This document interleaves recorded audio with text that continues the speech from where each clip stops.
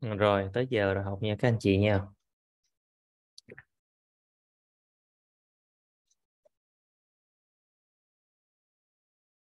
Hôm nay chúng ta học bài mới nha. Rồi vậy là loa cũng đã nghe được luôn rồi ha.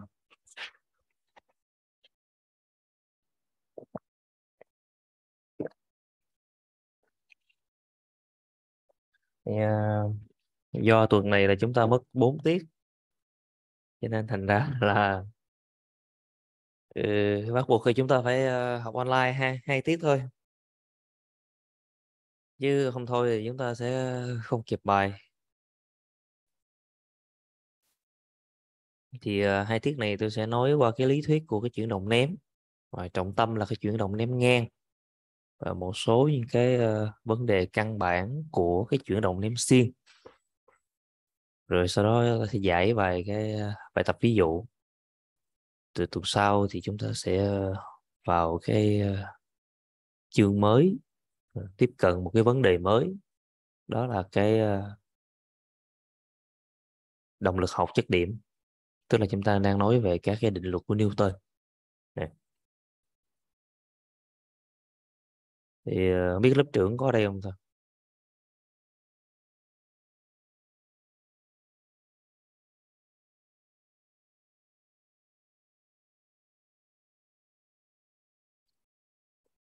tới cái giờ vô học rồi mà còn ít quá ha. Giờ này bắt đầu mới lò mò vô.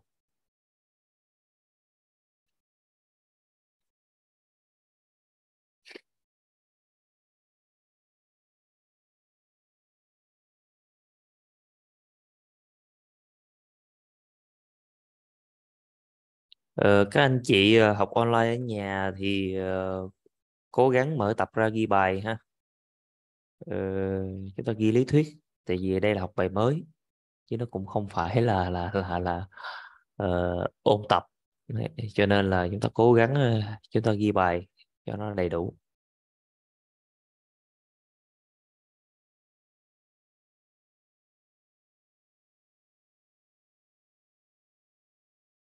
Ừ, cái giờ học ở trên K12 này uh, là bắt đầu từ 1 giờ chứ không phải 1 giờ 10 đâu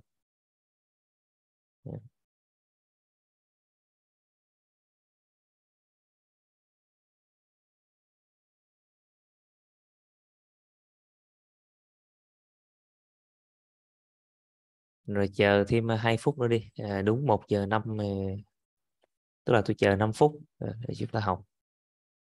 Các anh chị vào rồi thì chúng ta có thể ghi cái tựa bài. Tôi chia sẻ màn hình.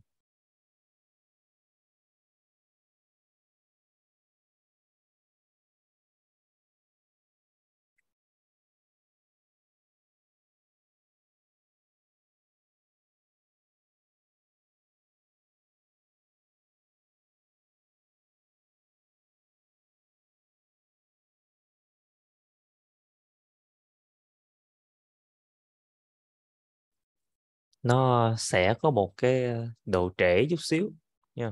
Nên là cố gắng ta theo dõi. Các anh chị chúng ta ghi bài số 9 là chuyển động ném.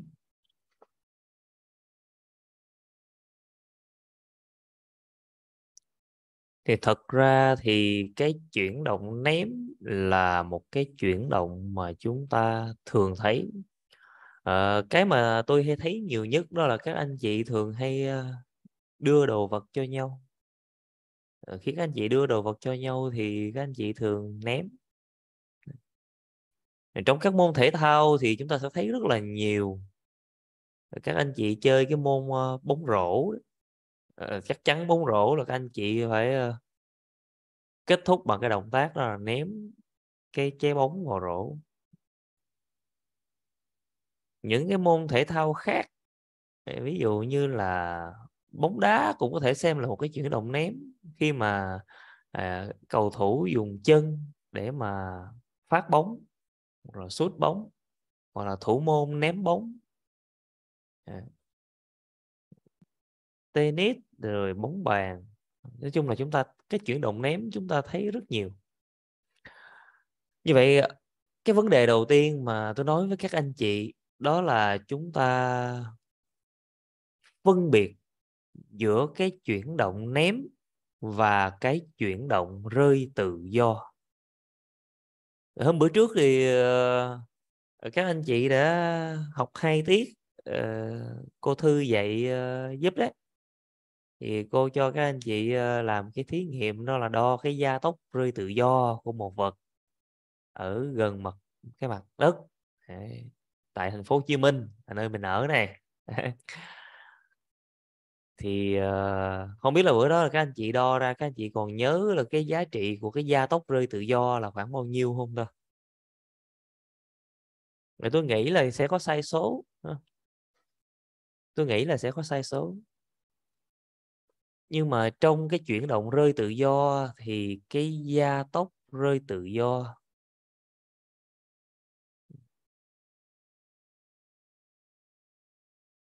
thì người ta ký hiệu nó là chữ G.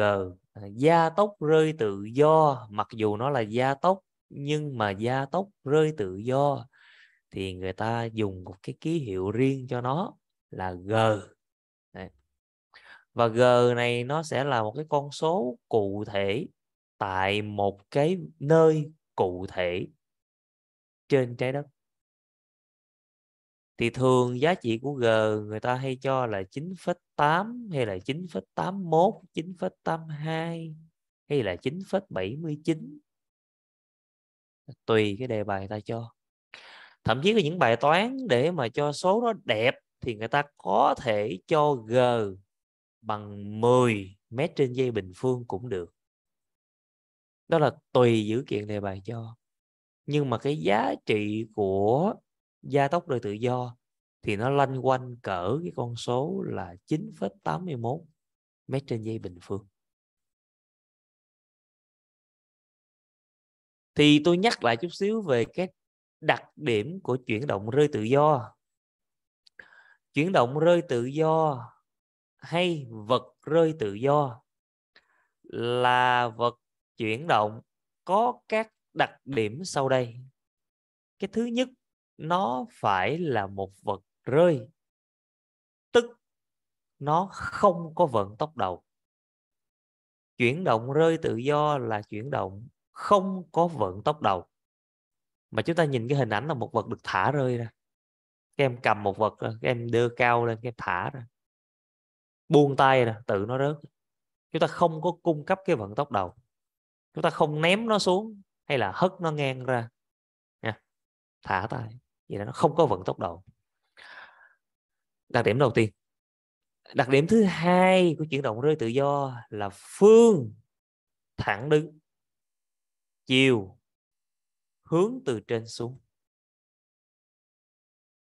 Và đặc điểm thứ ba của rơi tự do, đó là vật rơi tự do chỉ chịu tác dụng của trọng lực, bỏ qua lực cản của không khí thật ra thì vật rơi tự do của chúng ta ở trên mặt đất trên trái đất à, chúng ta làm thí nghiệm rơi tự do thì không bao giờ chúng ta bỏ qua được cái cái lực cản của không khí à, tuy nhiên nếu như mà nếu như mà chúng ta kể đến lực cản của không khí thì các em có thể hình dung là các em có thể lấy hai cái tờ giấy nốt hai cái tờ giấy ghi chú ấy. hai cái tờ giấy chúng ta bước ra hai tờ giấy như nhau hai tờ giấy như nhau hai tờ giấy nói nó bước ra như nhau thôi. Một tờ giấy thì các anh chị cứ để nguyên nó phẳng như vậy. Còn một tờ giấy thì các anh chị dò nó lại. Thì rõ ràng nếu mà tôi cầm hai tờ giấy lúc này tôi cân lên thì khối lượng của chúng nó vẫn là bằng nhau. Bởi vì không có một cái miếng giấy nào bị mất đi một mảnh nào cả. À, tức là về mặt vật chất.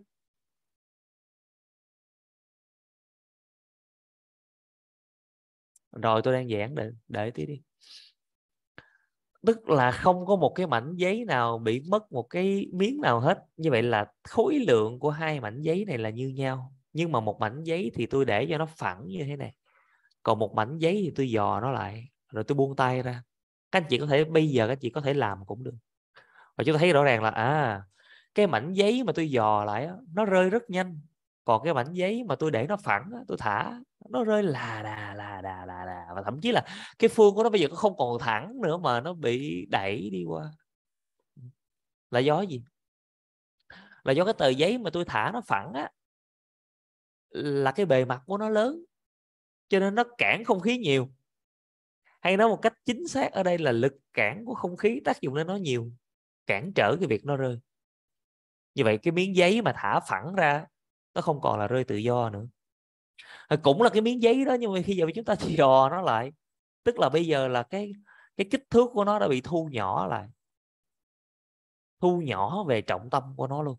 Kích thước của nó bây giờ thu nhỏ về trọng tâm của nó. Gọn lại. Thì khi thả ra nó rơi rất là thẳng và nó rơi nhanh hơn. Làm cái thí nghiệm này để chúng ta thấy rằng là cái lực cản của không khí nó tác dụng lên cái chuyển động rơi rất là nhiều cho nên đã gọi là rơi tự do. Tức là chúng ta phải bỏ qua lực cản của không khí đi. Nha. Cái kể lực cản của không khí thì lúc đó cái định lý của Galilei sẽ không còn đúng nữa. Bởi vì khi Galilei thực hiện cái thí nghiệm vật rơi tự do trên tháp nghiêm Pisa, thì lúc này ông ta thả một vật nặng như một vật nhẹ thì ông ta thấy rằng là cái vật nặng á, nó gần như là hai cái vật á nó gần như là chạm đất cùng một lúc nó gần như thôi. Tức là cái vật nặng nó vẫn chạm đất trước còn cái vật nhẹ thì nó chậm hơn một chút xíu. Đấy, với độ cao thấp nghiêng pizza thì người ta thấy như vậy. Là bởi vì đơn giản là cái lực cản của không khí chúng ta không bỏ qua được.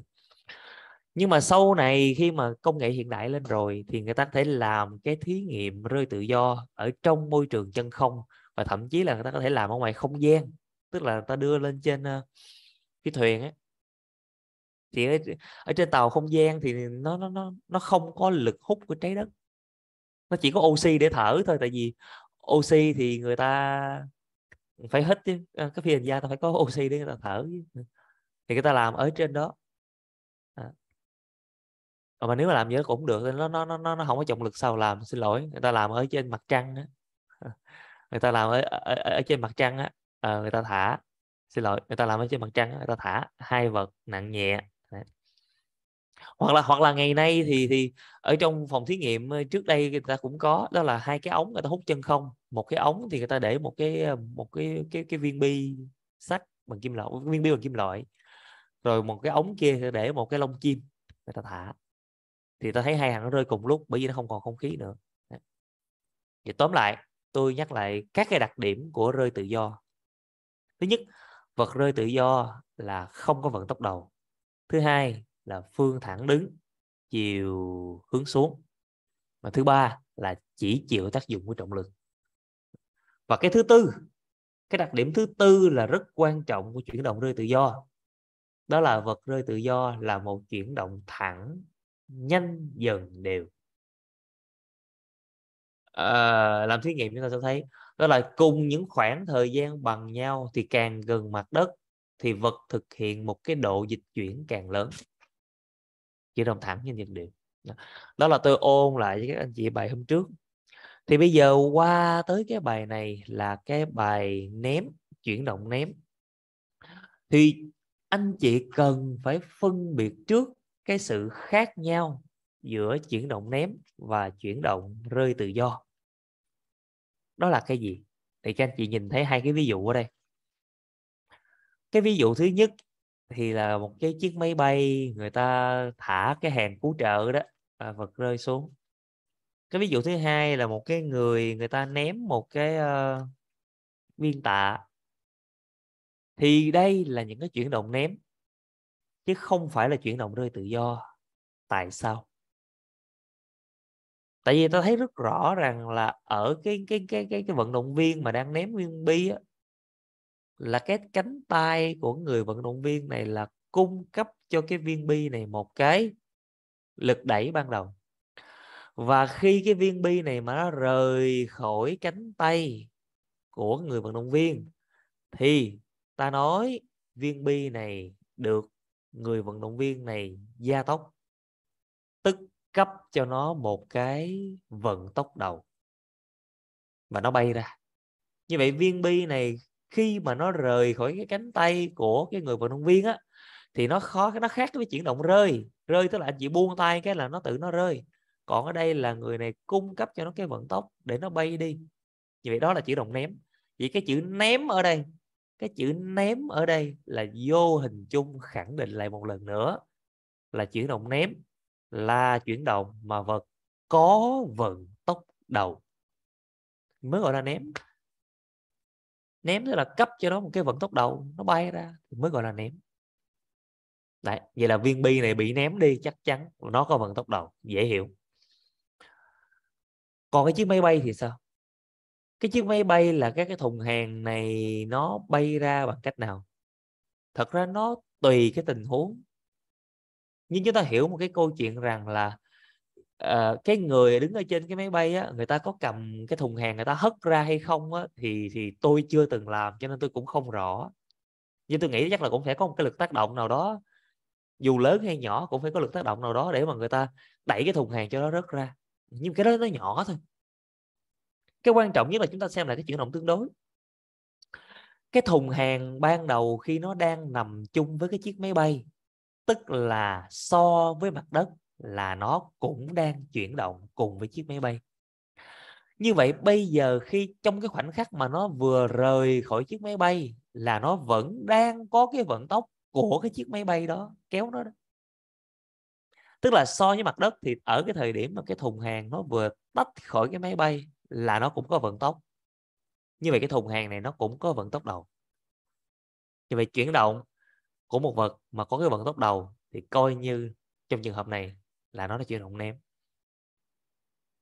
Nhưng ngoài ra thì như thế nào gọi là ném nữa? Vận tốc đầu thôi thì chưa đủ.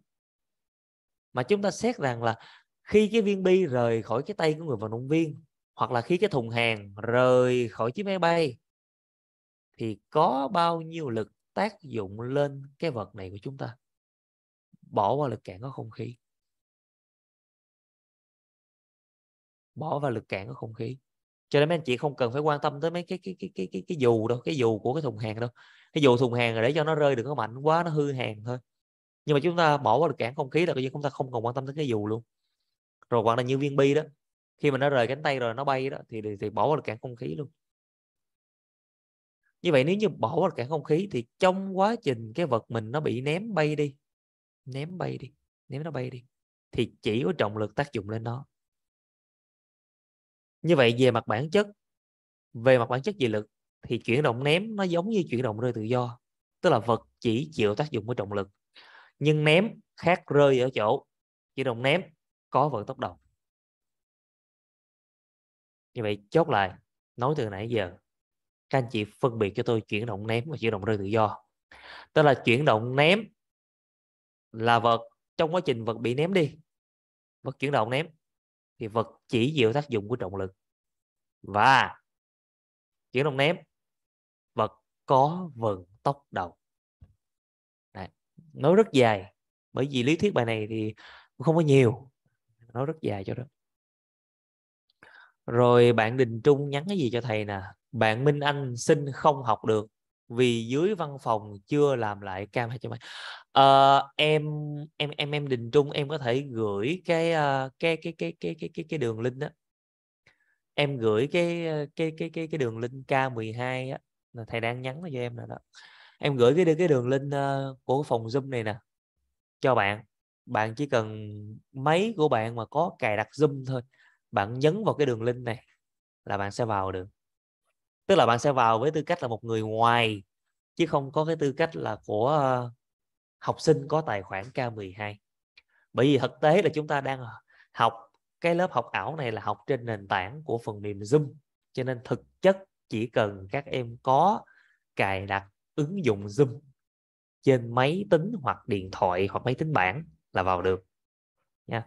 Thì mấy mốt mình rút kinh nghiệm đi mình cứ thấy bạn nào mà không có tài khoản K12 nhưng mà học lớp học ảo thì cứ gửi đường link cho đó các em hoàn toàn có thể mời bạn được đó. rồi, thôi được rồi, tiếp tục ha Minh Anh là nó nào nhỉ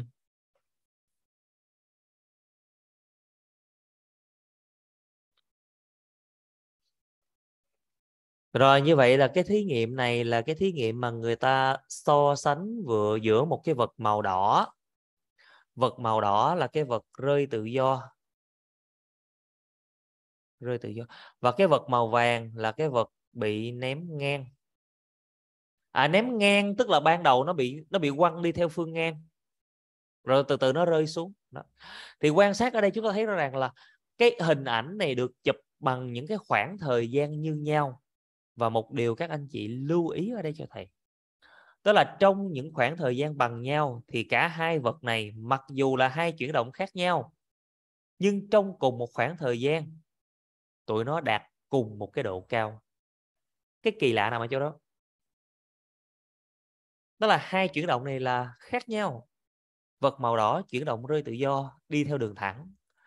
Vật màu vàng chuyển động ném ngang, đi theo quỹ đạo là nhánh parabol nhưng rõ ràng, ở cùng một thời điểm hình ảnh người ta chụp.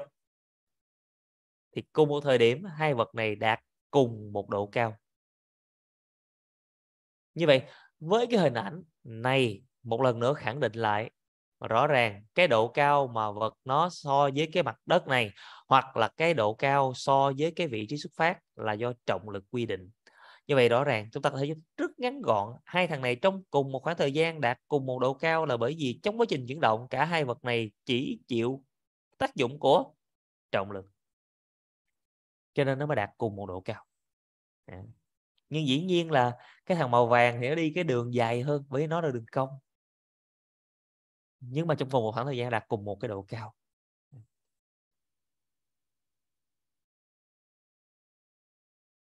Rồi người ta phân tích cái chuyển động ném này theo hai phương. Các anh chị nhìn, anh chị chỉ nhìn cái cái vật bị ném thôi nha. Đó, cái vật mà tôi tôi tô đó, tôi tô nó hơi xấu chút xíu.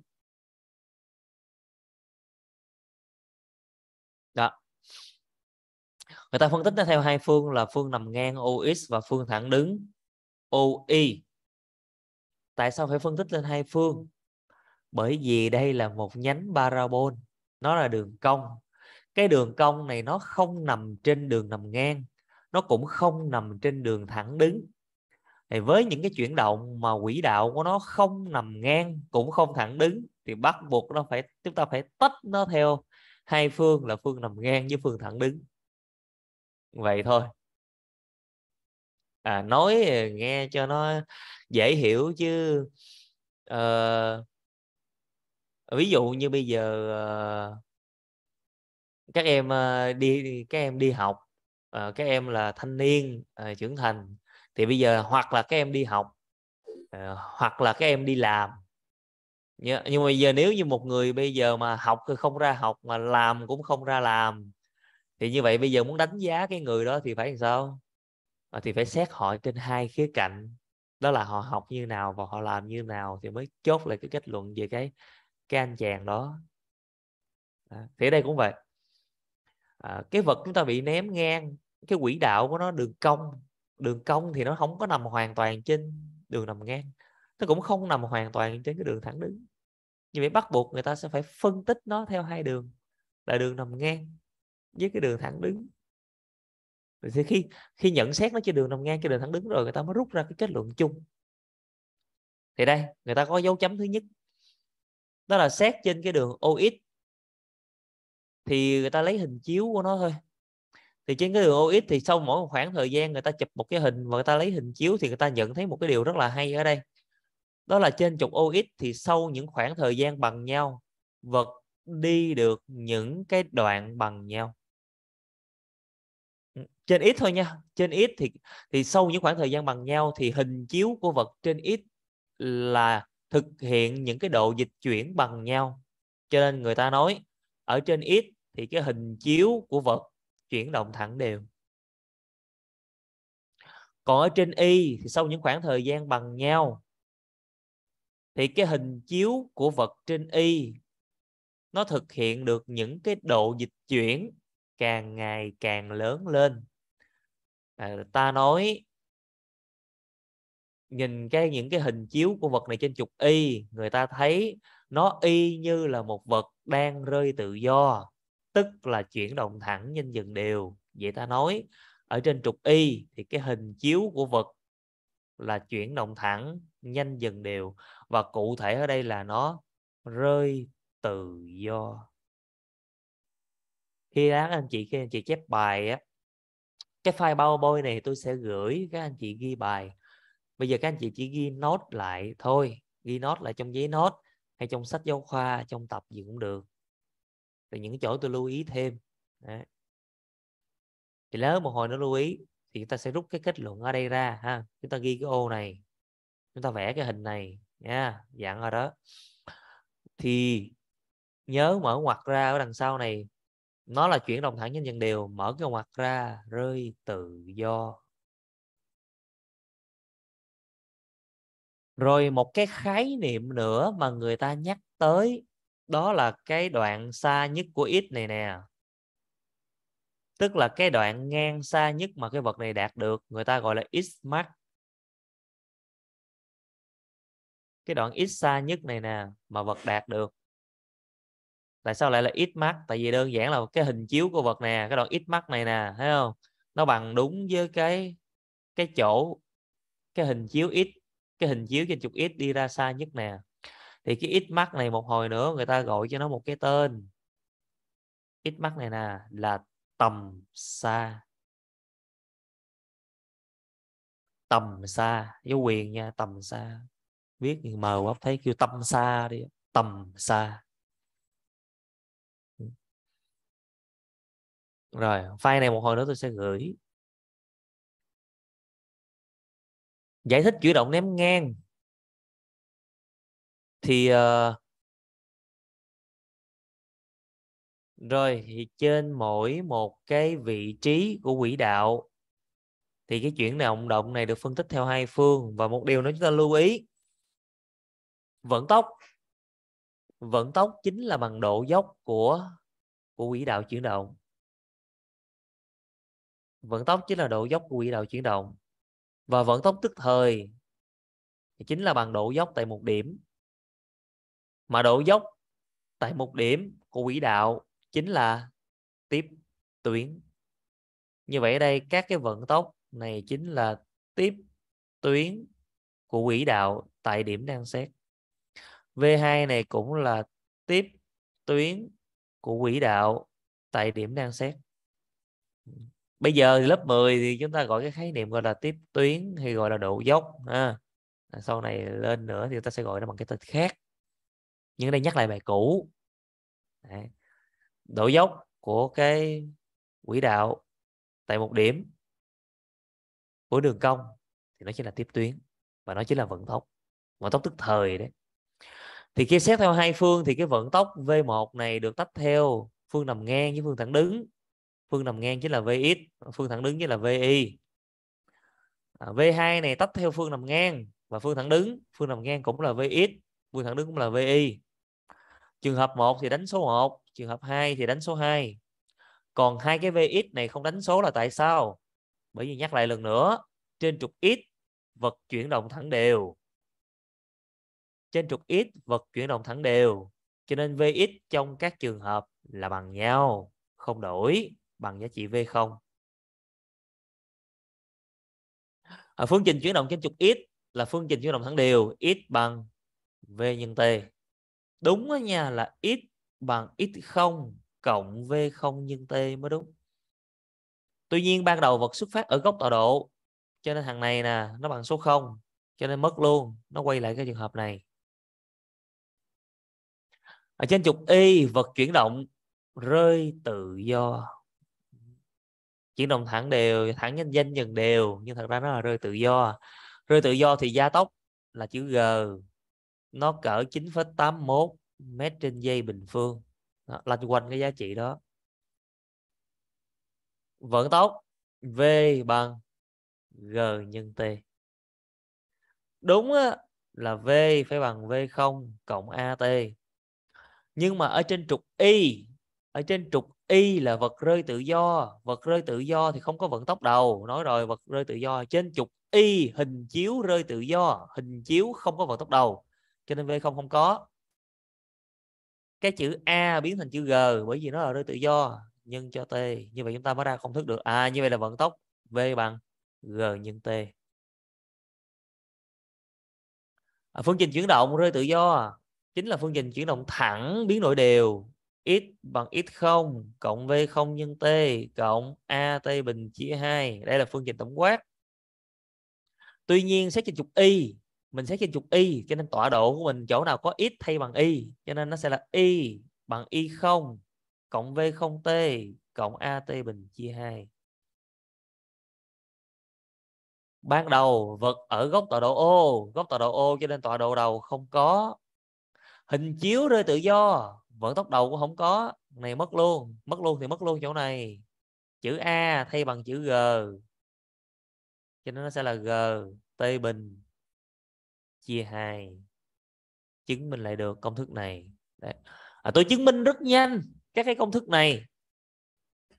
Ờ, trong quá trình các anh chị làm bài tập thì các anh chị thuộc biểu thức. Chúng ta áp dụng. Chúng ta không cần chứng minh lại. Những bạn nào giỏi bạn bạn nào tinh ý hiểu vấn đề sâu sắc thì chúng ta nhớ cái bước chứng minh, nhớ cái nguồn gốc của nó thì chúng ta sẽ đỡ nhớ hơn. Tức là chúng ta sẽ đỡ phải học thuộc lòng. Còn bạn nào mà chúng ta hiểu cái bước tự chứng minh, hiểu rằng tất cả những vấn đề hồi nãy giờ đều logic trong quá trình làm bài, chúng ta có thể áp dụng công thức trực tiếp, không cần chứng minh lại. Như vậy là chúng ta có biểu thức trên trục OX và biểu thức trên trục OY rồi, đây chỉ là cái hình ta mô tả lại một trong những cái chuyển động ném ngang thôi. Bằng cái sự phối hợp giữa hai cái biểu thức trên trục x và trên trục y. Đây, nhắc lại, biểu thức trên trục x x bằng v không nhân t.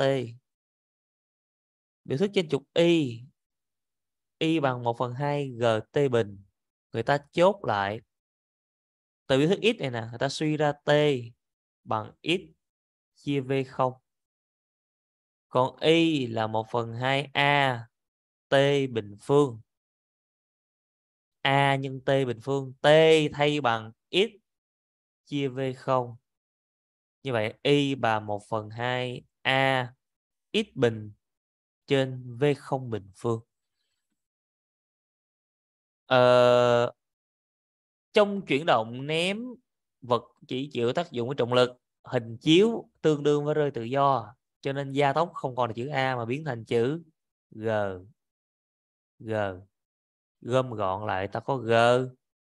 X bình phương, chia 2 V0 bình phương. Chính là công thức ở phía dưới này. Này. Rõ ràng với biểu thức này chúng ta có thể thấy G2 và V0 là các cái hằng số trong một cái chuyển động ném ngang. G lanh quanh 9,81.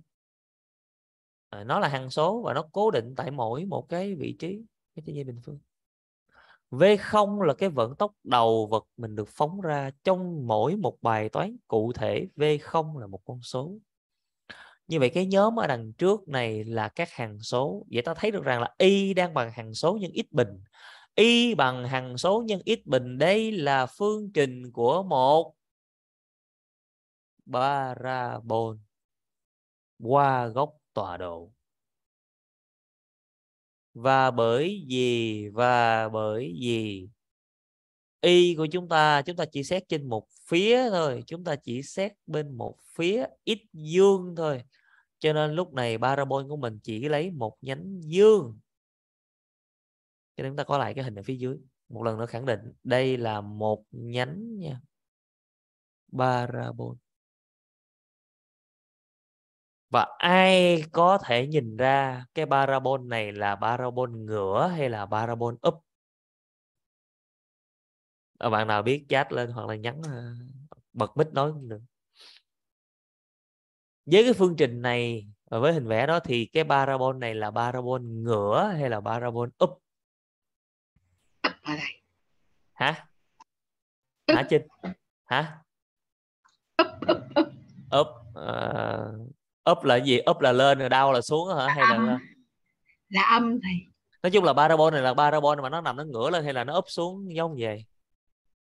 À, nó úp xuống giống vừa nãy này à, nhưng mà giờ lại có được lâm đức anh khoa nó lại nhắn với thầy là ngửa à, ờ, bây giờ mình mình mình có cái ô chat ở đây bây giờ đứa đứa đứa nào up thì nhấn số 1 chat số 1 còn đứa nào ngửa thì chat số 2 coi đứa nào up thì chat số 1 đứa nào cho rằng là ngửa thì chat số 2 nhắn riêng cho thầy cũng được không cần nhắn cho nguyên lớp xem ngại thằng Nam Khang nhắn số 3 tôi kích ra ngoài nha. Không, không giỡn nha chúng ta học nghiêm túc nha. Đây tôi nhận được uh, câu trả lời đó là một up thì là một còn ngửa thì là hai. Các bạn khác. Hai à, có hai rồi.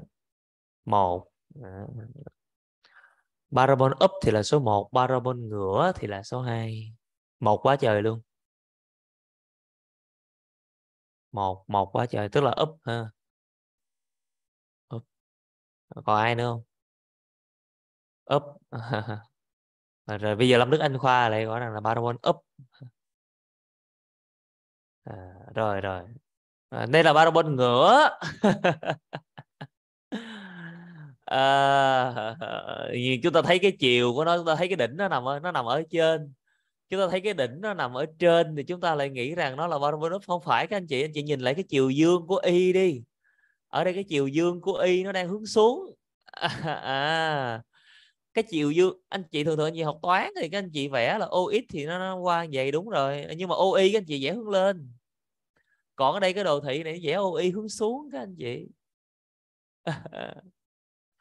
tức là rõ ràng là là cái cái parabol này là cái cái góc á. Ờ, thường anh chị vẽ đồ thị bên toán thì anh chị vẽ cái cái góc ô nằm ở dưới. Còn ở đây cái góc ô ta nằm ở trên. Đấy à, đây là một cái parabol ngửa. Rồi có bạn anh khoa phát hiện ra là ở đây đúng rồi đó là cái hệ số a dương nè. Các cái hằng số ở phía trước x bình đều là các con số dương. G luôn dương mà 9,81 nè về bình phải dương rồi đấy à, vậy là chúng ta thấy là cái hệ số a ở đây cái cái hệ cái hệ số ở đây hệ số dương. Nó là parabol ngửa. Một chút đánh lừa thị giác hơn à, thật ra thì ờ, trong quá trình à, học thì tôi phải nhắc cái chỗ này để cho anh chị tránh nhầm lẫn. Nói, ủa tại sao nhánh parabol mà tại sao bây giờ à, em tính bài tập em ra toàn số dương không mà tại sao Ờ, cái parabol nó vẽ ngược xuống. À, bởi vì ở đây cái chiều OX nằm ngang thì đúng rồi nhưng mà cái chiều OY nó bị quay ngược xuống. Chứ bây giờ anh thử mà chị lật cái hình lên anh chị lật cái hình lên. Lật OY lên. Parabol nó vút lên cao ok. Cẩn thận ha.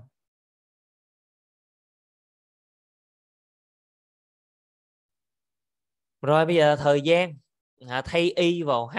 Đấy quay lại vấn đề bây giờ là thay y vào h. Tôi phải nói cái vấn đề đó để anh chị nhìn lại vấn đề rằng là bây giờ là cái chiều OI nó đang hướng xuống tức là OI chúng ta đang dương đó nha không cho nên thay y bằng một cái độ cao h và độ cao h này thì nó phải dương. Độ cao h tức là độ cao so với cái mặt đất này nè. Đó độ cao h nè đó. Đấy. Độ cao h đấy rõ ràng là OI hướng xuống, chiều dương hướng xuống, cho nên là từ trên xét xuống dưới là độ cao nó phải dương. Đấy, tôi nhắc ở chỗ đó. Thì cái thời gian mà để vật này nó bay từ vị trí xuất phát cho tới khi nó chạm đất. Thì thay vô cái, thay vô cái phương trình này. Thì thay y bằng h vô. Lúc này h của chúng ta sẽ là 1 phần 2 h nhé. 1 phần 2 gt bình. Vậy chuyển số 2 này lên, đưa chữ g xuống là t bình phương. Bỏ bình phương đi khai căn thời gian không âm, cho nên khai căn thì chúng ta chỉ lấy cái giá trị dương. Như vậy chúng ta có biểu thức của thời gian t. Và toàn bộ các đơn vị hồi nãy giờ chúng ta đều tính là bằng mét và giây hết. Mét với giây hết.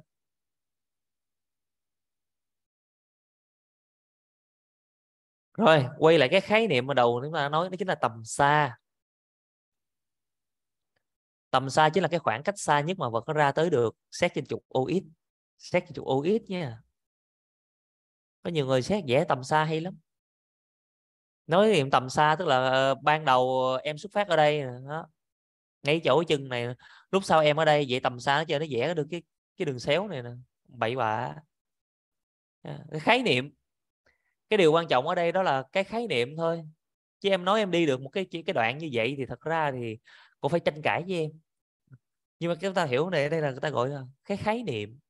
Người ta gọi khái niệm tầm xa chính là cái khoảng cách mà so với cái cái đường thẳng ban đầu. Vậy đường thẳng ban đầu của em là ở ngay đây. Vậy tầm xa sẽ là ở khúc này. Đó. Ít mắt chưa? Tức là chung là tầm xa chính là cái đoạn hình chiếu trên trục x mà vật ra xa nhất. Hình chiếu trên trục x mà vật ra xa nhất. Chính là x mắt đó là khái niệm. À, khái niệm. Chứ không phải theo các em hiểu hay là các em tưởng, mà nó là khái niệm. Ở đây tầm xa là một khái niệm. Và người ta đặt cái khái niệm tầm xa chính là giá trị ít lớn nhất khả dĩ. Đấy. được chưa? Rồi.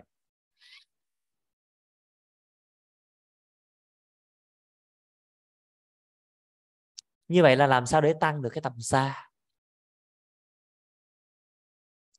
Ví dụ như là một cái người ở đây đứng uh, ngay cái cái vách đá này nè ha đứng ngay vách đá này giờ muốn muốn nhảy ra thì làm sao nhảy ra được cái đoạn xa nhất? Chứ nhảy gần quá nó đụng đá đây chết. Làm sao nhảy xa nhất? Hoặc lấy đà lấy đà lấy đà tức là để làm gì trinh? Tạo cái vận tốc đầu thật lớn. Nha lấy đà tức là tạo cái vận tốc đầu thật lớn đúng không em lấy đà tức là khi mà em dậm nhảy là em sẽ dậm một cái lực rất là mạnh. Em có một cái lực phát động rất mạnh tức là em có cái vận tốc đầu rất là lớn. Rõ ràng trong cái biểu thức L này cái V0 này là vận tốc đầu của em càng lớn thì cái cái L của em nó ra càng xa. Đấy. ok chính xác. Đấy và đây là kết luận. Bạn Trinh dùng một cái từ nó rất là gần gũi rất là dễ hiểu luôn lấy đà. Và cụ thể vật lý ở đây là, là chúng ta cần tăng v không? Đấy. Thì bạn dùng chữ lấy đà là hoàn toàn chính xác đấy.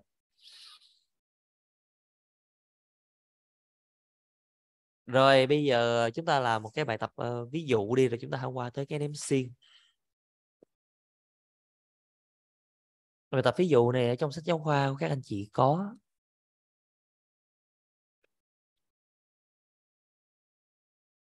Chúng ta tóm tắt bài này vào tập nhé một máy bay đang bay ở độ cao 5 km tốc độ 500 km trên giờ. Theo phương ngang thì thả rơi một vật. Hỏi người lái máy bay phải thả vật cách mục tiêu bao xa để rơi trúng mục tiêu? Lấy g là 9,8 m trên giây bình phương. Đọc cái đề bài này các anh chị phải cẩn thận. Ờ, ở cẩn thận ở chỗ là người ta đưa ra cái khái niệm gọi là thả rơi một vật. Nhưng vật ở đây hoàn toàn không rơi, mà là nó bị ném. Ai nhớ tại sao đầu giờ tôi phân tích không ta? Theo chuyển động tương đối thì mặc dù là cái gói hàng nó bị thả rơi tại cái máy bay, nhưng lúc đầu nó đang nằm trên chiếc máy bay, tức là nó đang chuyển động theo phương ngang.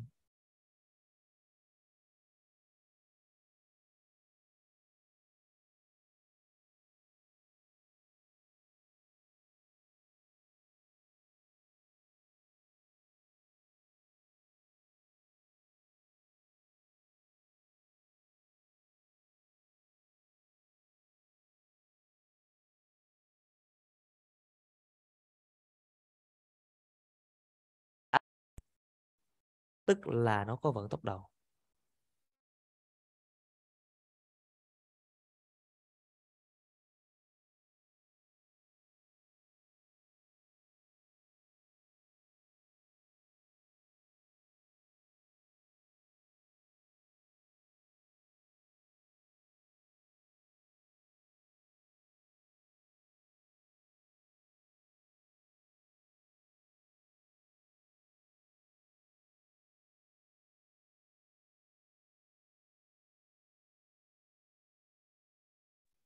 alo?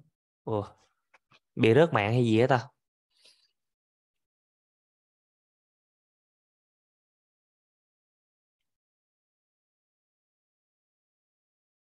Alo? Alo?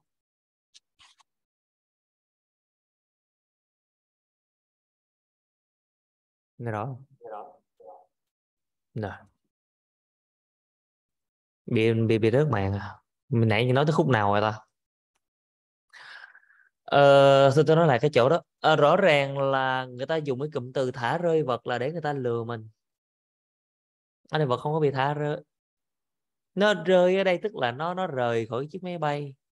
Nhưng theo cái chuyển động tương đối thì so với một cái vật so với một cái người quan sát ở dưới mặt đất thì cái gói hàng của chúng ta ấy là nó vẫn đang chuyển động theo phương ngang.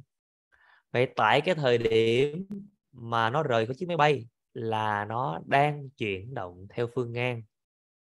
Vậy đây là một cái chuyển động ném ngang. Chứ đừng để cái chữ thả rơi vật, nó lừa mình. Là vật này rơi thẳng xuống, vậy là chết. Yeah.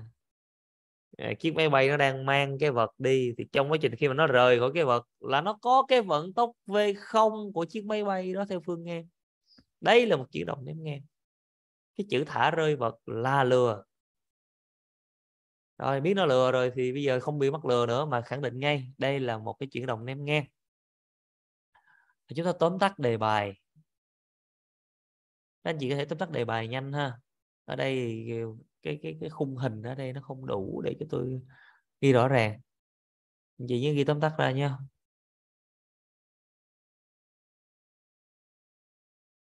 đây độ cao của chúng ta là h bằng 5 km phải đổi về là 5.000 m tốc độ ở đây là v0 bằng 500 km trên giờ.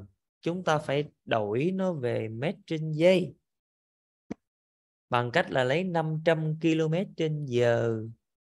Chúng ta chia cho 3,6 à, anh chị nào có máy tính anh chị bấm giùm tôi cái tôi kiếm cái máy tính của tôi mất đâu rồi. À đây. À, 500 km trên giờ chúng ta chia 3,6 ờ à, rồi cảm ơn em. Ờ, à, bạn anh khoa ra là 138,8 ờ, chúng ta lấy hai số luôn đi. 138,888 thì làm tròn hai số là 89 mét trên giây Đấy, theo đúng quy tắc làm tròn nha. Rồi ở đây g là 9,8 người này phải thả cái vật cách cái mục tiêu là bao xa? Vậy ở đây cái chữ cái cách mục tiêu bao xa thật ra đây chính là tính tầm xa đó L và dĩ nhiên tôi nói là lần nữa à, cái tầm xa L là nói về cái khái niệm chứ không phải theo các em tưởng hay là theo các em hiểu hay là theo các em cho rằng mà tầm xa nó phải là một cái khái niệm. Và khái niệm tầm xa chính là cái khoảng xa nhất trên trục OX mà hình chiếu của vật ném ngang đạt được như vậy đó chính là cái đường thẳng này. Từ đây kéo ra tới đây. Đó cái chỗ này là x max nó bằng l chính là tầm xa. Bằng bao nhiêu? Như vậy chúng ta dùng công thức tính tầm xa. L bằng V0 nhân cho à, các anh chị thuộc công thức ha. Căn bậc 2 của 2H chia G. như vậy thay số vào. 138,89 nhân cho căn bậc 2 của hai lần H là 5.000 mét. Chia cho G là 9,8 à, các anh chị có máy tính các anh chị cùng tính với thầy nhé. Ta thay con số nhẹ nhàng này vô thôi.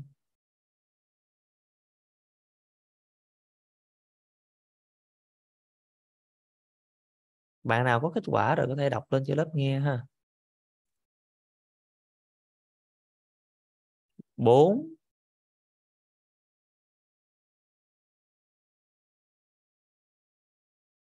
4 mấy?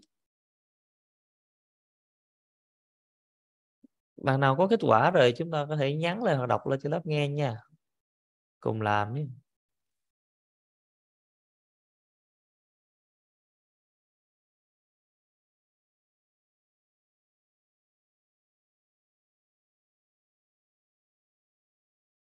các chị có thể uh, tóm tắt nhanh bài này vô trong giấy nốt hay là trong sách giáo khoa cũng được.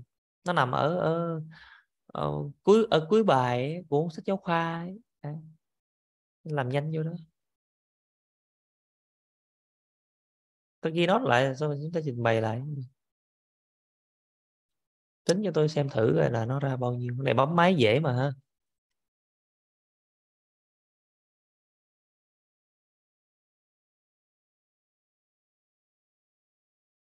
Không có nào biết tính hết.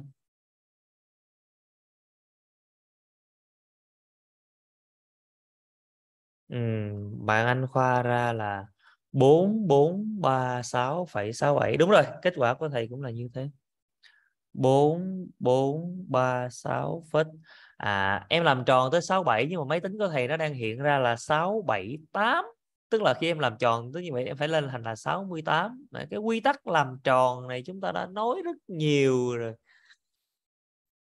Khi em làm tròn tới con số nào thì em phải nhìn cái con số ngay phía sau đó. Nó dưới năm thì em bỏ nhưng nó quá năm thì em phải cộng lên một. Đơn vị. Đấy. À, tuy nhiên thì kết quả này chúng ta ra là mét. À, nhưng mà trong thực tế mà máy bay mà cứu người thì người ta ít dùng đơn vị mét cho nên để thể hiện sự hiểu biết chúng ta đổi ngược lại về km tức là ra cỡ là 4,436 thì kia là cỡ 4,4 km. Đấy. Tức là để thả cái gói hàng xuống cho mấy người này thì máy bay nó phải à, thả ở một cái khoảng cách tầm xa là 4,4 km. Và tôi nói lại lần nữa tầm xa là một khái niệm nó là cái đoạn ít xa nhất mà hình chiếu của vật ném ngang đạt được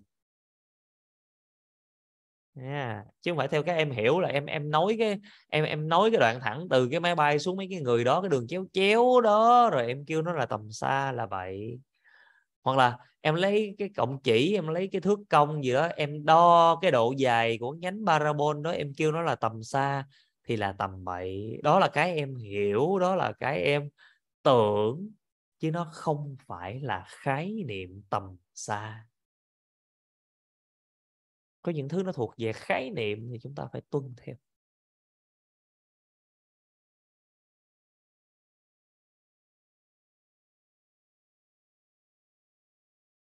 Rồi, bài tập hai các anh chị có thể uh, tóm tắt cái bài này. Nhanh. Thật ra dạy như thế này nói rất nhiều rất mệt các anh chị. Nói rất nhiều là rất mệt.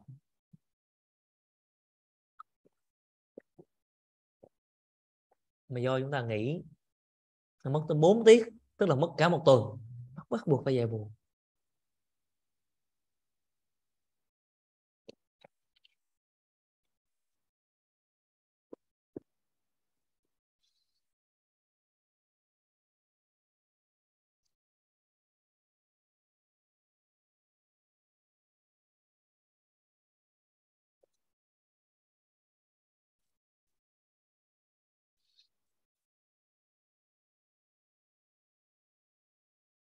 Các anh chị tính thử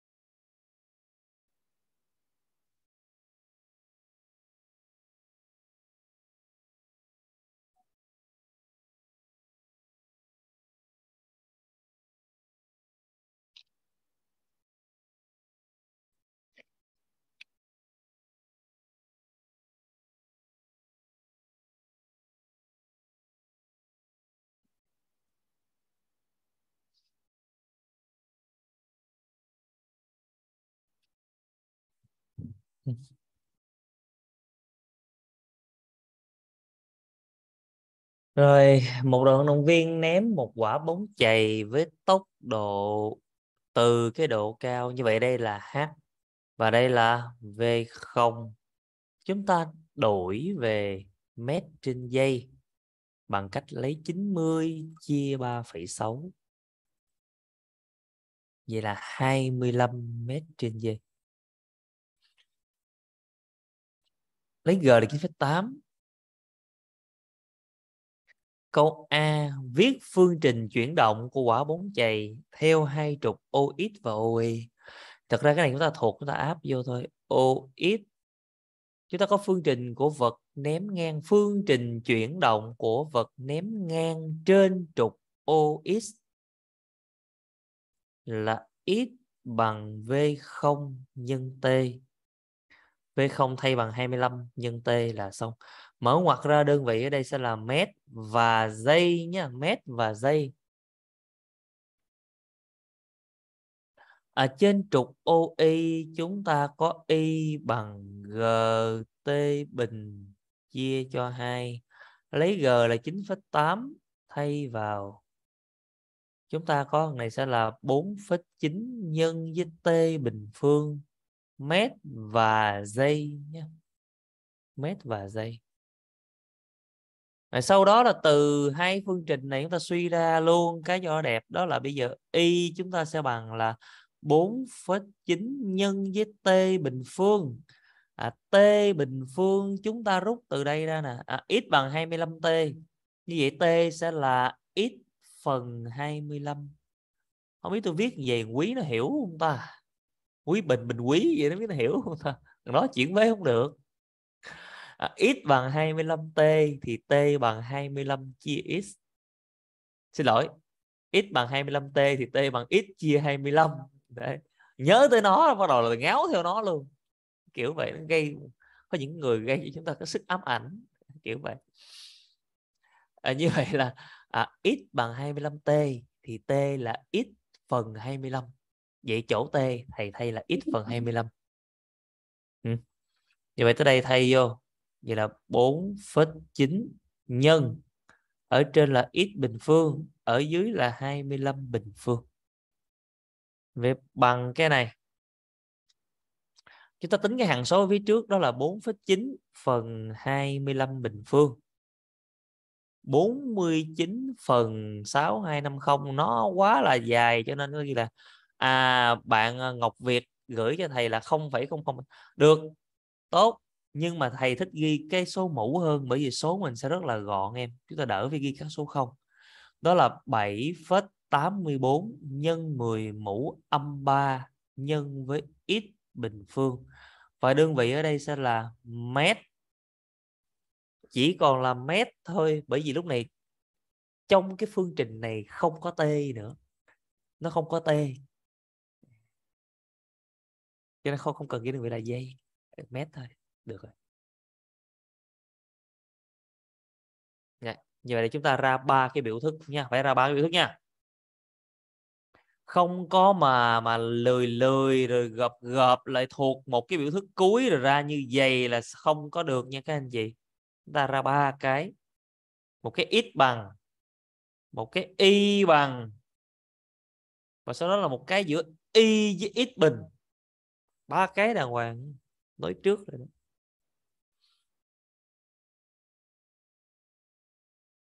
câu B, quả bóng này đạt cái tầm xa là bao nhiêu quả bóng này đạt cái tầm xa là bao nhiêu thì chúng ta có tầm xa L bằng V0 nhân căn bậc 2 của 2H chia G. Đấy. V0 là 25. Căn bậc 2 của 2H là 1,75. Chia cho G là 9,8. Chúng ta bấm máy tính rất nhanh chỗ này.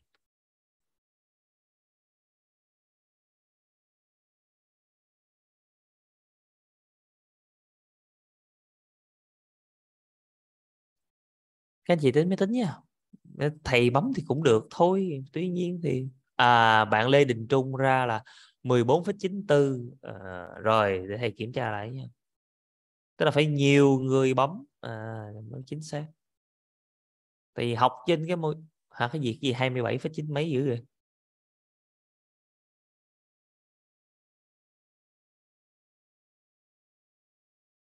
ủa? Ủa tại sao Huỳnh Ngọc uh, gì đây? Huỳnh Ngọc Việt lại ra 27,95 ta còn Lê Đình Trung thì ra 14,94 ta.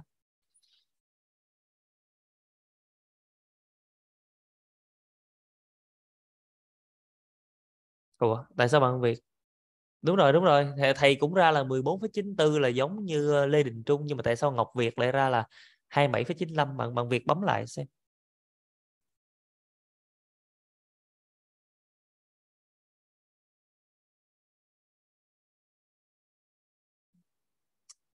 Bạn việc tính lại xem. Thầy ra kết quả như trên màn hình đấy.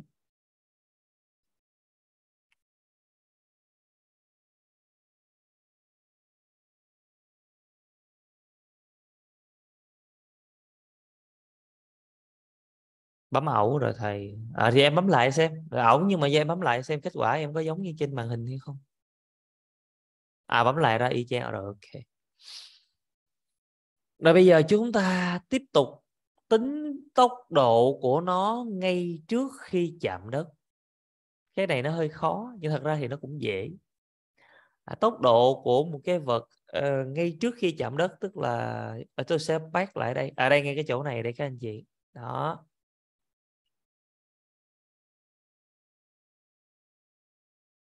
Rồi. Tôi bôi ha. Lấy cái hình này làm mẫu thôi ha. Hình này làm mẫu thôi à, rõ ràng là cái tốc độ của chúng ta vật rơi của, của một vật được ném ngang thì được phân tích theo hai phương. Là phương x có giá trị là vx và phương y có giá trị là vi như vậy rõ ràng là để tính cái tốc độ v ở cái chỗ này thì chúng ta phải tính vx và vi sau đó chúng ta dùng Vx và Vi để vẽ ra một cái hình chữ nhật như trên màn hình này. Và độ dài của V sẽ được tính thông qua Vx và Vi theo quy tắc đường chéo của hình chữ nhật. Đó là độ dài của cái V bình phương sẽ bằng Vx bình phương cộng Vi bình phương. Đúng chưa? Đây tôi im lặng chút xíu là để cho các anh chị nhìn lại, đúng vậy chưa độ dài của cái đường chéo V sẽ được tính bằng cạnh Vx và cạnh vy bằng công thức Pythagore để ra đường chéo hình chữ nhật. Bây giờ tính Vx như thế nào thì coi lại bài ở trên. Vx thì bằng với V0 còn vi là bằng g nhân cho t. À đầu giờ nói rồi, đầu giờ nói rồi. t bằng gì? Căn 2h chia cho g.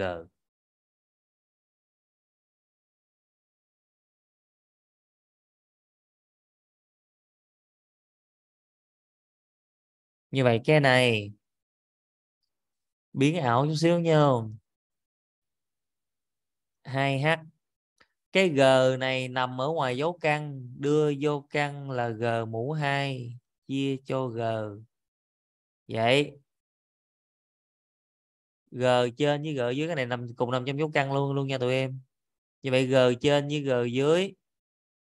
Chém bỏ bớt, chúng ta còn lại là căn 2 gh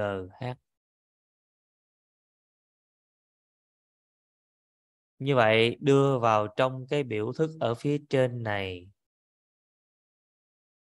Chúng ta có Vx chính là V0 bình phương. Vi căn 2GH bình phương lên 2GH. Ok chưa?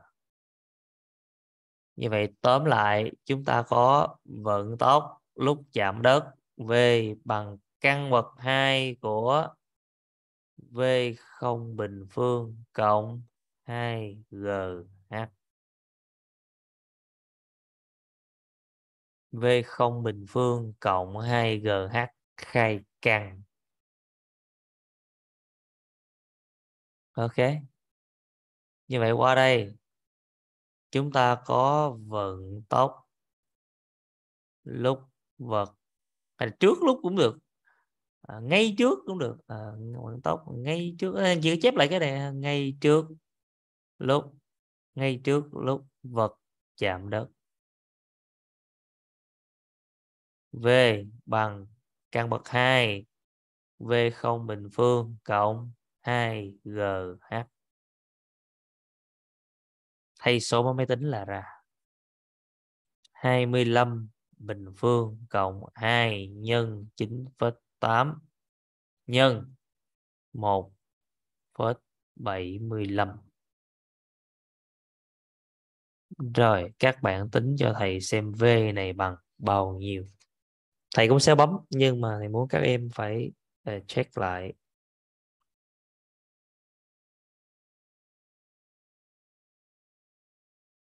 À à. Oh à, Lê Đình Trung bấm ra là 25,26 Ồ, ờ, sao, sao thầy bấm ra khác ta? Máy tính của thầy hiện ra kết quả là 25 phết uh, 6768 thì làm tròn là 25 phết 676 làm tròn nữa nữa là 25 phết 68 mét trên giây.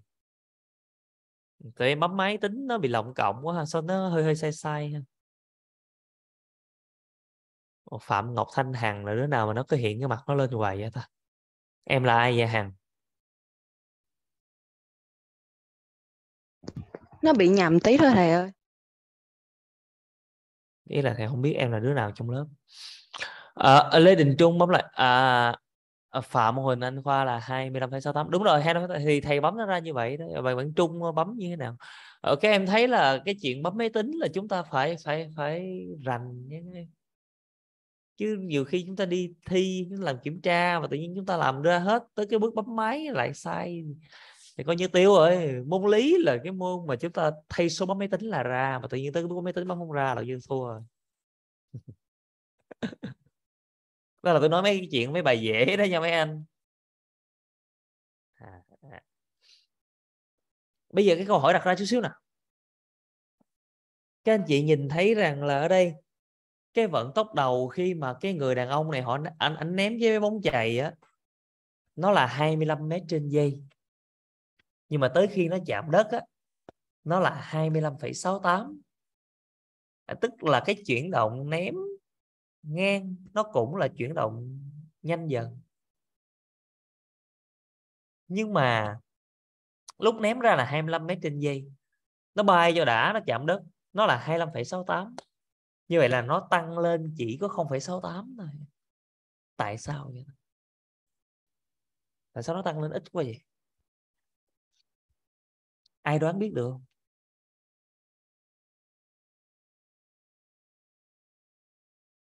ai đoán biết được? Tại sao tốc độ nó tăng lên chỉ có tăng lên thêm có 0,68 mét trên giây vậy? Hả?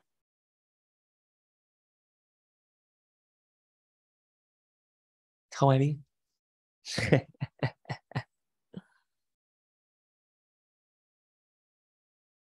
Không ai biết hết. Tại vì ở đây cái uh,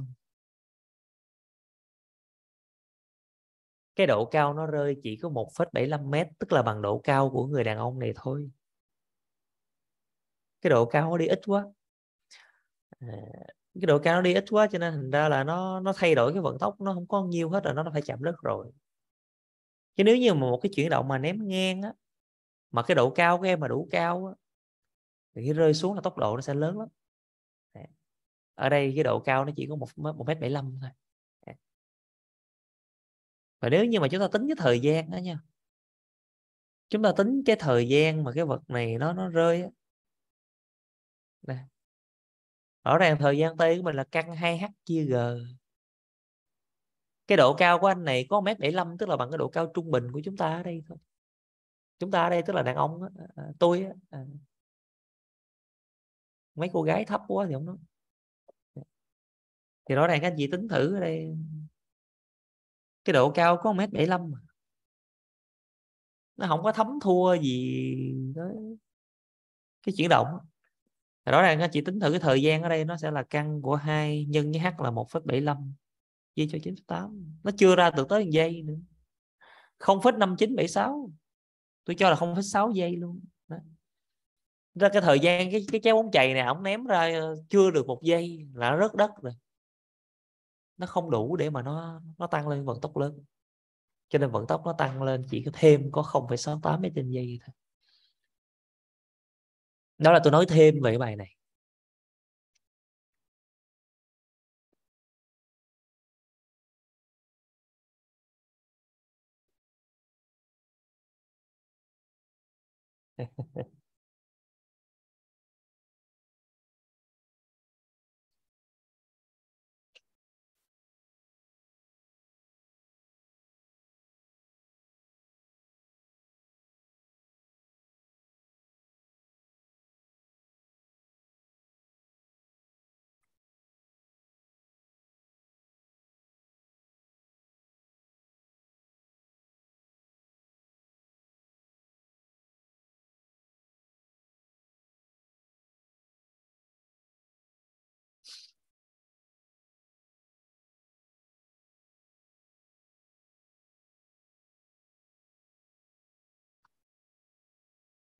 Ừ. rồi.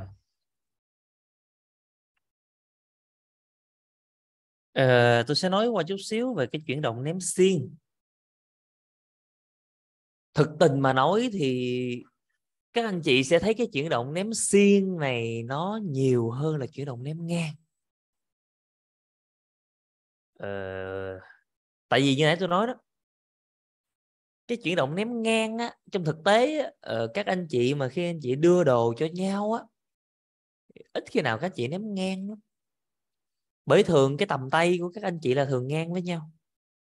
Mà nếu như là chuyển động ném ngang á ờ, thì cái đường parabol nó kéo xuống về nó kéo xuống về nó rớt xuống. Không chụp được. Chứ thường các anh chị mà đưa đồ cho nhau á, hay là anh chị chơi bóng rổ các anh chị truyền bóng á, à, hiếm khi nào anh chị truyền ngang chị nhảy lên vậy. Tức là các chị nhìn thấy cái hình minh họa của người ta ở trong đây. À, là khi người ta ném xiên à, à người ta ném cái bóng nó bay lên. Nó lên tốc độ cao cực đại xong rồi nó vòng ngược xuống. Thì như vậy là từ cái tầm tay của người này từ tầm tay của người này nó nó bay nó vòng lên nó rớt nó vòng nó lên tốc độ cao cực đại nó vòng xuống tới cái tầm tay của người kia. À, nó ngang bằng. Chứ còn ném ngang là nó nó hõm xuống vậy à, nó cong xuống về rất là khó chụp cho nên trong thực tế thì chúng ta sẽ ném xiên nhiều hơn. Tuy nhiên là khi mà ném xiên á, là cái cái vận tốc ném của chúng ta là nó không có còn nằm ngang nữa mà nằm xiên. Như vậy cái chuyển động của chúng ta sẽ có một cái quá trình đi lên một quá trình đi xuống. À, và khi đi lên á, là cái chuyển động của chúng ta nó sẽ có lúc nó sẽ đi chậm rồi khi nó đi xuống thì nó sẽ đi nhanh. À, nó sẽ khá là phức tạp cho nên sách giáo khoa của chương trình này thì chương trình mới này thì người ta không có ờ, đề cập đến các cái biểu thức của ném xiên mà ta yêu cầu các anh chị là lập một cái dự án à, tức là anh chị làm một cái sản phẩm để ném xiên à, thì khi anh chị làm một cái sản phẩm ném xiên rồi thì người ta sẽ là cái mục đích ở đây là tìm cái điều kiện về vật ném để ở một cái độ cao h nó đạt được một cái tầm xa lớn nhất. Đó là khi các anh chị ném xiên á, thì nó còn một cái đối tượng, một cái đại lượng ảnh hưởng tới ném xiên. Đó là cái góc nghiêng của anh chị, hay là cái góc xiên á. Góc xiên giữa cái cái cái cái phương mình ném ra so với cái phương nằm ngang. Ở đây chính là cái góc alpha này nè.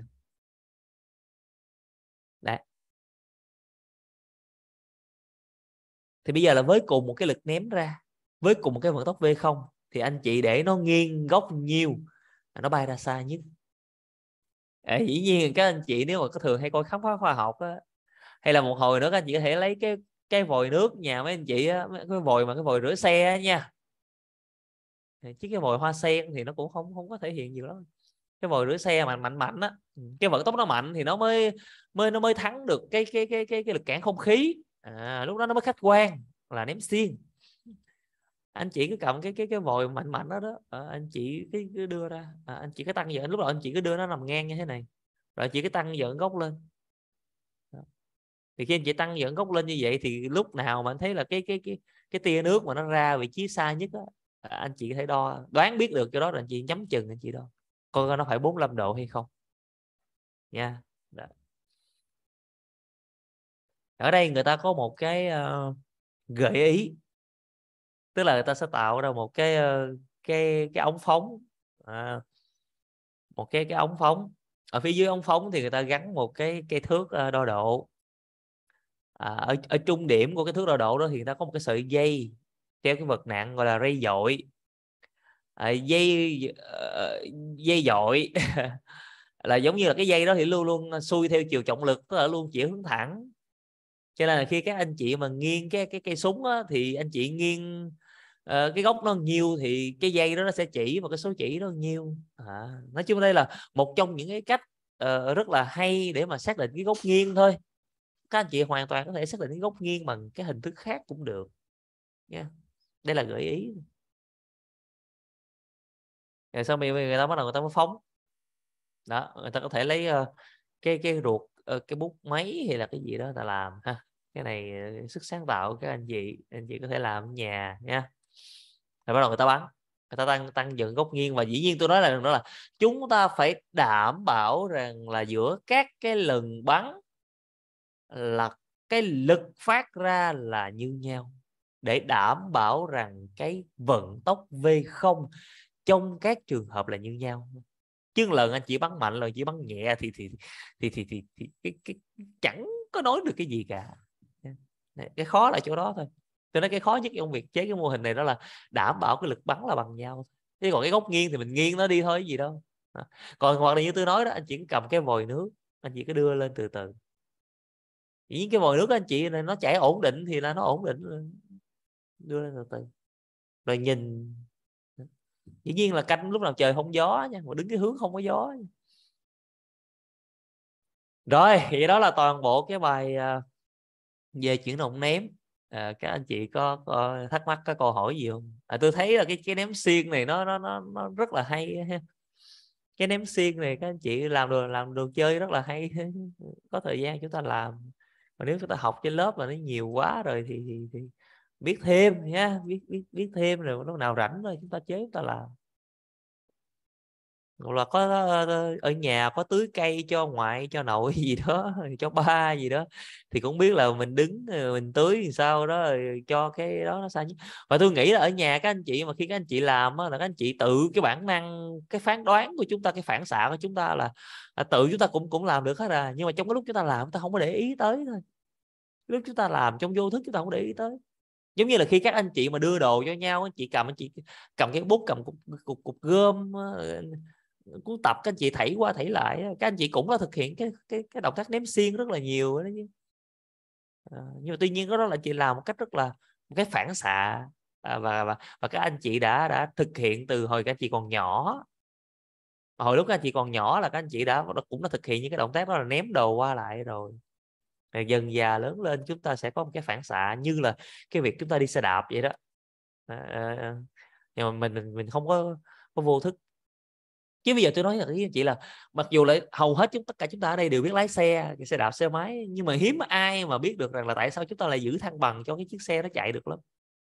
Nói một cách rõ ràng ra, tôi nói thật sự luôn nói một cách rõ ràng phân tích ra thì hiếm có có anh chị ngồi đây ờ, dĩ nhiên tôi thì tôi biết, nhưng mà các anh chị lớp 10 ở đây, hiếm có anh chị nào mà hiểu được rằng là tại sao cái chiếc xe đạp mình nó giữ thăng bằng được được lắm. Cái bánh xe của mình nó quay mà. Tôi nói thẳng với mấy anh chị có thể là khi mình cứ đạp chúng ta đạp xe cái bánh xe của chúng ta nó quay, đúng không mà nó quay theo một hướng anh chị thấy cái cánh quạt nhà mình á cánh quạt nhà mình mà nó quay theo một hướng đó là nó xoáy, nó tạo một cái lực, nó đẩy cái luồng gió lên phía trước hoặc là cái anh chị dội nước ở ờ, toilet ấy. anh chị dội nước, anh chị giật nước ấy. là cái dòng nước đó nó cũng xoáy mà nó xoáy cái chiều đó thì nó sẽ đẩy nước xuống chứ nó không có làm nước đi lên chiếc xe đạp mình cũng vậy. Khi bánh xe mà nó quay nó cũng tự tạo ra một cái lực, nó kéo chiếc xe đạp chúng ta ngã. Và chiếc xe đạp nó sẽ ngã về phía bên tay trái. Thực sự một điều mà nói đó là khi chúng ta đạp xe là bởi vì cái bánh xe đạp của chúng ta nó quay và nó có xu hướng làm chiếc xe đạp ngã về phía bên tay trái. Cho nên người ta thường tạo một cái phản xạ thói quen cho người lái xe, đó là cái chống xe, chống chân nằm ở phía bên tay trái nhưng mà tại sao khi chúng ta leo lên xe chúng ta đạp thì chúng ta không bị ngã gì phía phía bên phía, phía bên tay trái? Là tự chúng ta trong quá trình chúng ta tập lái xe là tự chúng ta đã hình thành cho mình một, một cái khả năng đó là tự giữ thăng bằng. Giữ thăng bằng ở đây không phải là giữ cho chiếc xe nó đứng yên bởi vì dù cho anh chị giữ cho chiếc xe nó thật đứng á, thì khi cái bánh xe nó quay tự động nó ngã. Cái đó là cái quy tắc cái quy tắc mà sau này chúng ta học về mô men lực chúng ta sẽ hiểu nhưng mà tự động chúng ta leo nhưng mà chúng ta kêu cái người đầu tiên lái xe leo lên đạp xe là xe nó ngã. À, nhưng mà chúng ta tập một thời gian là tự động não chúng ta sẽ tự động cân bằng lại. Đó là cái người của chúng ta cơ thể chúng ta nó sẽ nghiêng qua nghiêng lại. Tự động nó vậy chúng ta vô thức chúng ta tự động chúng ta nghiêng qua nghiêng lại. Để chúng ta tạo ra cái cái cái cái cái cái cái cái, cái thăng bằng. Đấy. nhưng mà vô thức các anh chị thôi. Chứ các anh chị lái xe đạp các anh chị đâu có biết cái gì gọi là mô men lực hay là cái gì gọi là mô men động lượng đâu các anh chị nó đâu có hiểu được là tại sao chiếc xe mình là uh, lúc nào nó cũng bị ngã về phía bên tay trái đâu. Tại sao cái chống xe nó lại là để bên tay trái đâu? Nhưng mà tự cái vô thức con người chúng ta. Cho nên đôi khi là chúng ta chỉ cần chúng ta chịu khó chúng ta để ý chút xíu những cái việc chúng ta làm ở trong cuộc sống hàng ngày. Chúng ta thấy vật lý nó nằm ở trong đó. Cái cái cái cái cái, cái rất dễ của cái môn học này ở chỗ là chúng ta sẽ thấy nó mỗi ngày mỗi giờ quanh chúng ta nhưng mà để chúng ta vô thức chúng ta không có tìm cách chúng ta thắc mắc. À, chúng ta không có trả lời. Ờ. Đấy. Thì đó là tôi nói cho chị thấy là gì có có thể gọi là gì có cái cái cái cái hứng thú để mà các anh chị ờ, tự tìm hiểu hoặc là tự chế cái mô hình ờ, bắn súng ném xiên này ở nhà. À, và tìm ra coi có phải cái góc 45 độ nó làm bay xa nhất hay không. À, và lý thuyết nó là như vậy còn khi bây giờ em ứng dụng vô cái chuyện em làm ở nhà em thì thực ra nó không phải 45 độ mà nó có thể là 50 độ hay là 40 độ gì đó. À, cái nòng súng của em sao sao đó. Rồi thôi được rồi. Ờ, do hồi sáng này tôi đi hiến máu cho nên thành ra tôi cũng khá mệt. Cũng khá mệt. À, mà ngồi dạy online thì cũng phải tự nói khá nhiều. Cho nên là nếu như các anh chị không không không không có thắc mắc gì ha, thì uh, chúng ta kết thúc buổi học ở đây. Còn nếu các anh chị có thắc mắc thì các anh chị đặt. Rồi tôi giải đáp.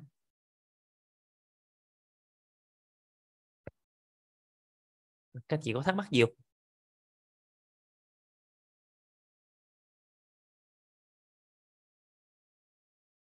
Rồi thôi nếu bây giờ không có thắc mắc gì nữa thì uh, chúng ta nghỉ ha. Rồi uh, tuần sau lên lớp thì uh, chúng ta sẽ uh, qua tới cái chương uh, định luận điêu tên động lực học nha. Rồi hãy chào các anh chị nha. Rồi. Rồi ừ, ừ, ừ.